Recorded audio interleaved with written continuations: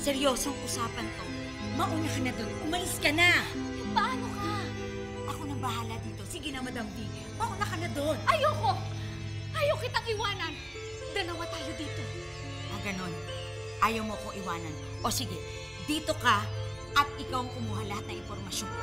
Ako ang aalis. Ah, ah, ay, ay, ay, ay, pwede naman talaga tayo maghiwalay. Hindi naman talaga tayo kambali. Ano ba? Pero Mariska, kung sakaling ito na ang katapusan mo, katulad ng sinabi ng diwata, thank you. Thank you for showing me how to love. Showing me my Huwag ka na emo- kumanta. Sige na, umalis ka na. Ngayon na. Sige, mag-iingat ka, Mariska. Promise. Mag-ingat ka.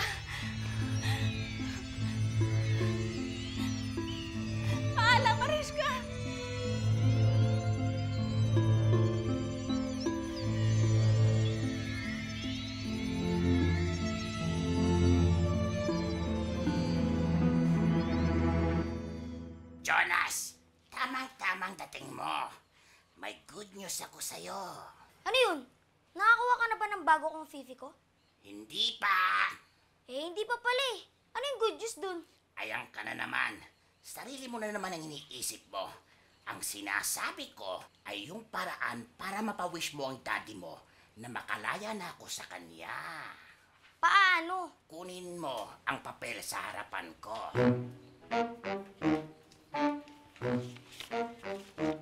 Anin ko to? Hindi ikaw gagamit niyan. Ang daddy mo. Ipapabasa mo yan sa kanya. Haram, haram, wishu. Ukaw, ukaw, layasa, sumpakor. Ano to? Sinabi ng daddy mo magbabasa niyan eh.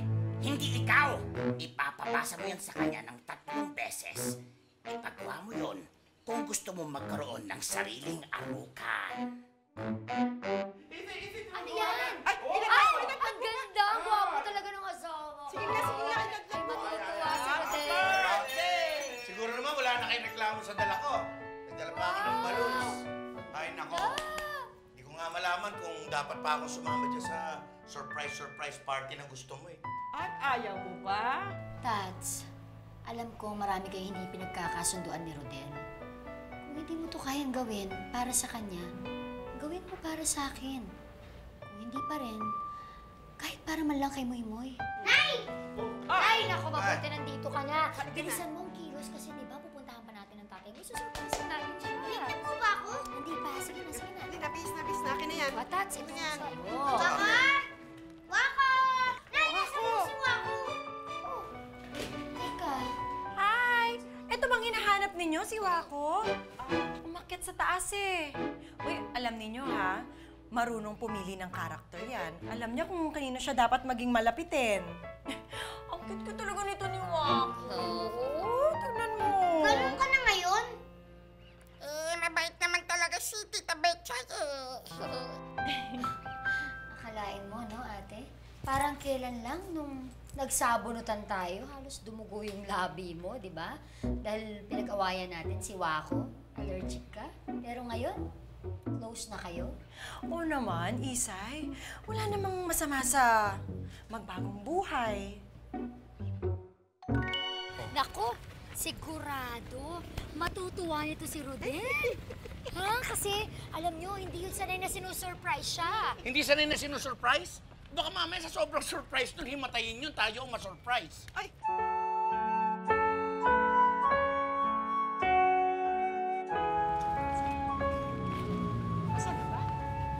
Araw po. Ay! Mukhang may party kayo. ah. Table for how many po? Ay, hindi ho, hindi ho kami kakain. Ah, so surpresahin lang sana namin yung asawa ko. Yung supervisor dito. Ha? Asawa kita? Ay! Asawa mo yan? Ano Kailan ka pa rin taksil kay Rodel?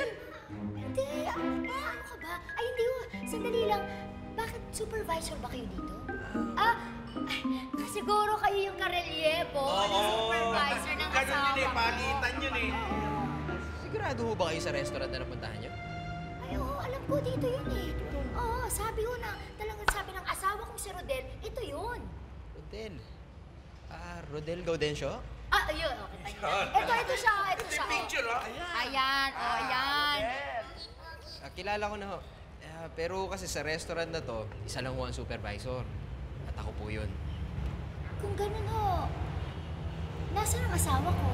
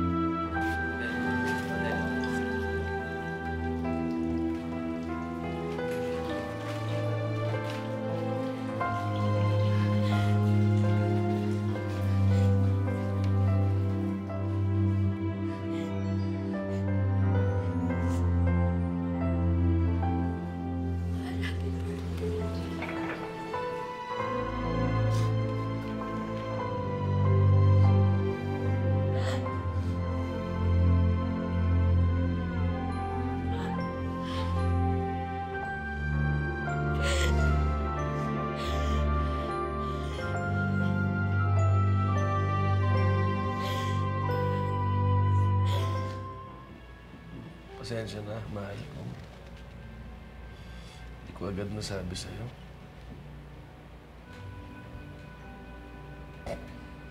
Hindi ko alam paano ka aminin sa'yo na dishwasher ang trabaho ko. Hindi ko naman maintindihan sa'yo, mahal. Bakit sa lahat ng tao, sa akin ka pa naglihim? Kailan ba ako humingi ng karangyaan sa'yo? Hindi ba kaya nga ako pilit na nagtrabaho para matulungan kita, magtulungan tayo mag-asawa? Ngayon kung dishwasher yung trabaho mo, wala namang masama dun eh. Marangal na trabaho yun. Pero Rodel, pulis ka eh. Doon ka magaling eh. Alam ko yan ang nasa puso mo. At kailangan mo pahirapan ang sarili mo. Handa kami maghintay. Nahiya kasi ako eh. Iisip mo ba na mamaliitin ka namin? Mahal, magkasawa tayo, di ba? Magsasama tayo sa hirap at ginawa. Nakalimutan mo na ba? Salamat, mahal. Papasalamat ako na ikaw kasama ko. At higit pa sa regalo, kayo ni Maymoy. Ang regalo hindi nabibili.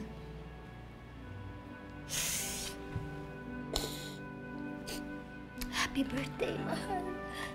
Thank you. Birthday.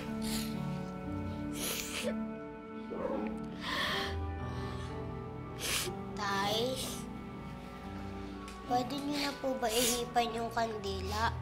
Kasi natutunaw na, sayang naman po yung cake. Puro yung luha ko na. Sige na. Kiss na, kiss na. birthday na. Birthday!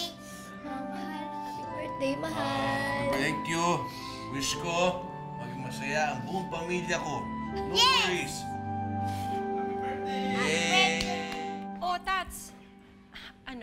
Kamusta yung surprise ninyo kay Rodel? Nung una parang hindi okay.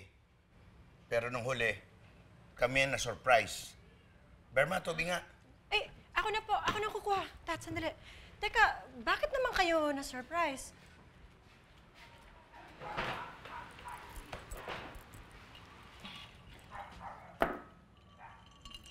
Eh, kasi nga, di ba, alam namin na bisor siya ng restaurant.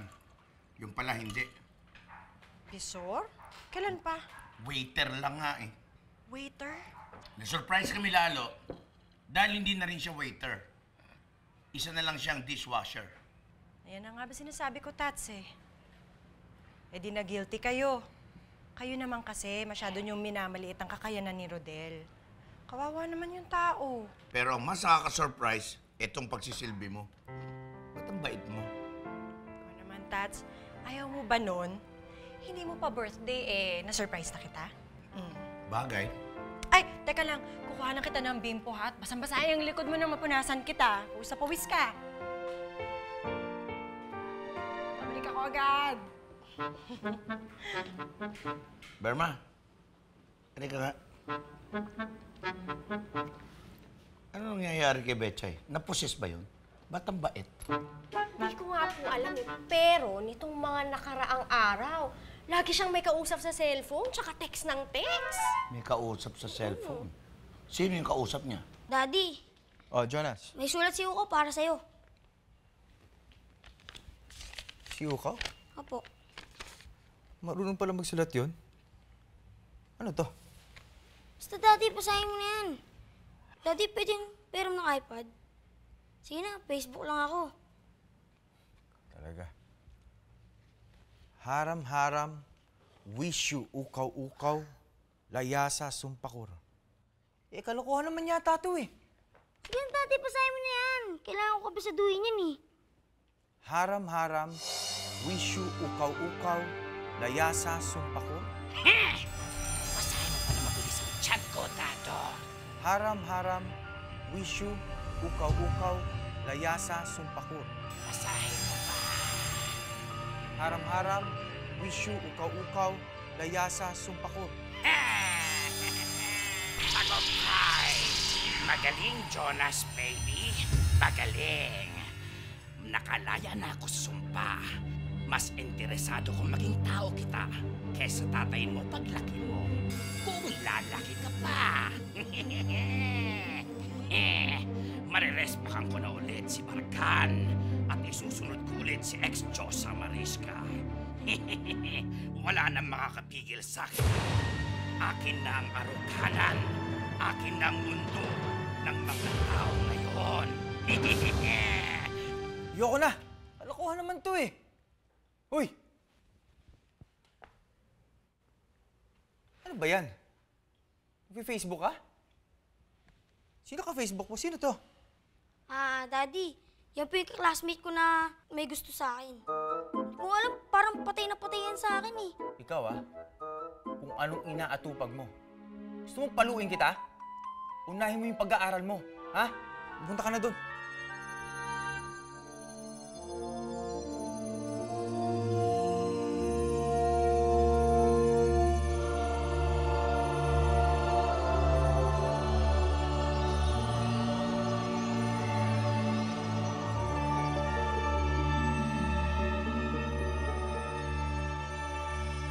Sino ka? Anong ginagawa mo rito? Haring tinig, magparamdam ka. Gusto kita makausap. Magpakilala ka.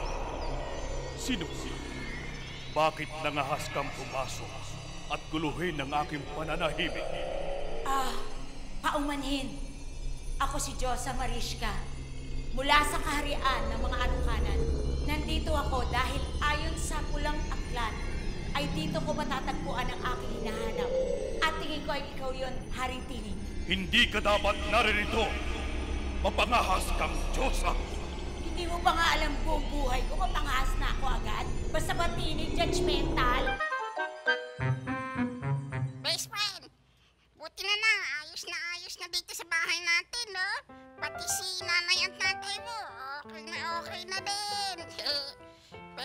Dun sa amin, sa Arukanan, pati si Diyosa Mawiska, nako, ang status complicated pa rin.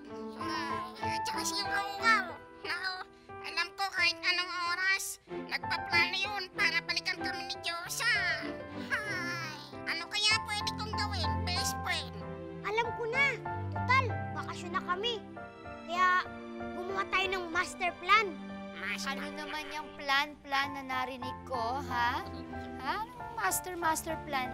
Oy, wako, ha? Muy, muy, bago kayo gumawa ng kahit na anong plano, eh, maganda na kayo kasi magsisimba muna tayo. Oh, sige po. Pero pwede ko po ba isama si Wako? Oo naman, syempre. Ano, sumunod na kayong dalawa, ha? Po. Sige. Sige, best friend. Mamaya na lang tayo gumawa ng master plan. mo ko sunugin! Kailangan, kailangan kong tulong mo. Bakit mo ginagawa ang kapangahasang ito? Kahit wala kang tenga, sana pakinggan mo naman ako. Kailangan kong tulong mo. Nawala ang lahat ng kapangyarihan ko bilang Diyosa. Marami akong nasasakupan. Paano na silang lahat kapag tuluyan akong nawala? Maghahari ang kadiliman. Lahat ay gagawin ko. Kung anong sabihin ko ay gagawin ko, tulungan mo lamang ako. Tanggapin mo na ang katotohanan, Mariscas. Wala ka ng kapangyarihan. Ako ay Diyosa at hindi ako mananatiling mortal. Huwag mong lupohin ang sarili. May kasabihan nga, mas mabuting tanggapin mo ang pangit na katotohanan kaysa ang mabuhay sa magandang kasinungalingan. Wala ka ng kapangyarihan at wala na rin paraan para maibalik mo ang iyong pagiging Diyos. Nawala ang aking kapangyarihan ng naaayon sa kasulatan na kailangan nating gumawa ng labag sa ating batas upang mawala ang ating kapangyarihan. Ang pagkawala ng kapangyarihan ay kaparusahan. At ang ginawa ko ay pagtatanggol sa aking sinasakupan. Hindi lang pala kapangyarihan ang nawala sa iyo, pati pala ang iyong pangunawa. Bilang Diyosa, ay hindi ako dapat lumalapit sa kapwa ko Diyos-Diyosan. Pero dahil alam kong ikaw ang makakatulong sa akin, ay nagmamakaawa ako sa'yo, tulungan mo ako ngayon. Magpasalamat ka na lang at buhay ka. Ayoko nang mabuhay kung wala rin lamang ang aking kapangyarihan. Naghihirap na ngayon ang aking mga arukan at hindi ko matatanggap kung wala akong magagawang paraan tungkol dito. Makinig ka sa akin mabuti. Kapag ipinilit mo pa ang kagustuhan mong maging Diyos, isang nakaihindig na pangyayari ang magaganap. At ikaw, ikaw ang magdurusa, Mariska. Oh, Dado? Mabuti naman at ah, sinagot mo. Um, busy ka ba? Ah, kumusta ka na? Hmm, eto, medyo busy. Ikaw, kamusta ka na? Anong ginagawa mo? Um, wala naman. Eto, nagko-computer, naghahanap ako ng bagong business. Nasa bahay ka ba? Mm Ito, bahay lang. Family. Alam mo na, Siya nga pala, um, kumusta na yung mag-asawa? Si Rodel at si Isay. nakakaingit nga yung kapatid ko eh. Alam mo, talagang napakaswerte niya kay Rodel. Aba, ang hirap na yata maghanap ng lalaking inuunang kapakanan ng pamilya niya kaysa dun sa sarili niyang pride. Betchay, O sige na, tawagan na lang kita ulit. sino yung kausap mo? Secret. Secret. Sabihin mo dyan sa kausap mo lalaki na yan, kailangan dumalaw siya rito para makilala ko.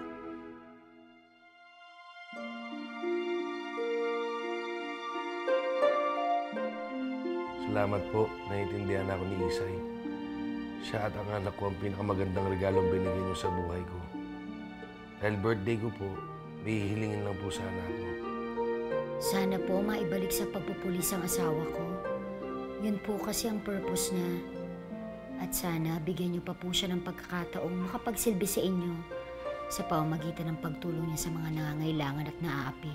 Sana po palaging tahimik ang munti naming pamilya.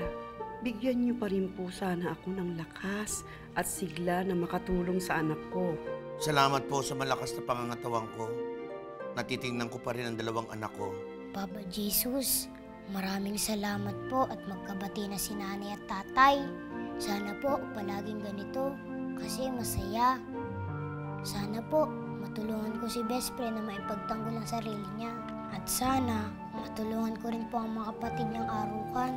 Sana ligtas po sina Madam V at Diyosa Mawiska sa panlalakbay nila sa bundok Arukula.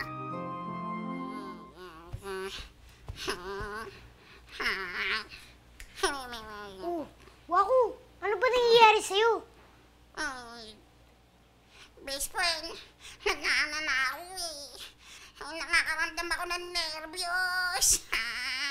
Bakit ka naman nininervyos?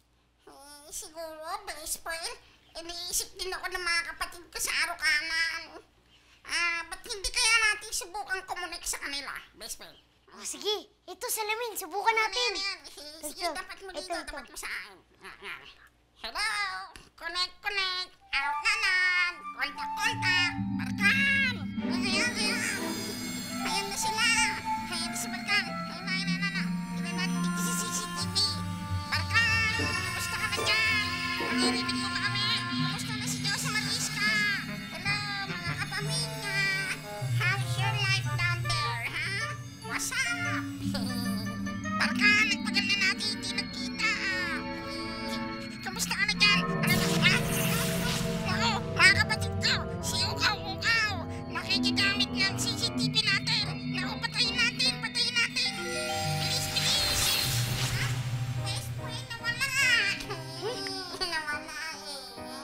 Laro-laro nag-aalala dyan eh. Bakit na walang koneksyon ko sa kanan?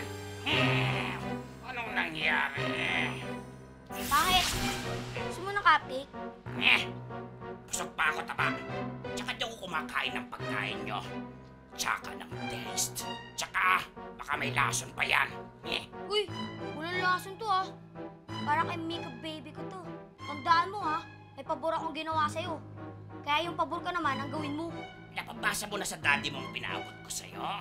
Oo, nagalit nga eh. Inuuto ko lang daw siya para makagamit ng computer. Di ba ikaw ang tagay ng uto? ako nga nanguuto. At dahil sa panguutong yan, nakalaya na ako sa spell ng daddy mo.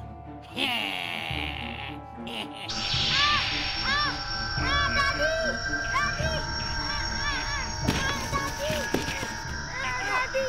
Daddy! Dito! Ano ba ito kasi ito, ukaw-ukaw? Tutusan kita! Patayin mo yung liwanag mo! Masusunod, among dado. Sorry. Wala nang effect kung utos mo, dado. Sino may sabi sa'yo? Ikaw, ang ulit-ulit ka pa nga eh. Alam mo yung pinabasa sa'yo ng anak ko? Inutusan mong makawala ako sa sumpa. Kaya malaya Pwede!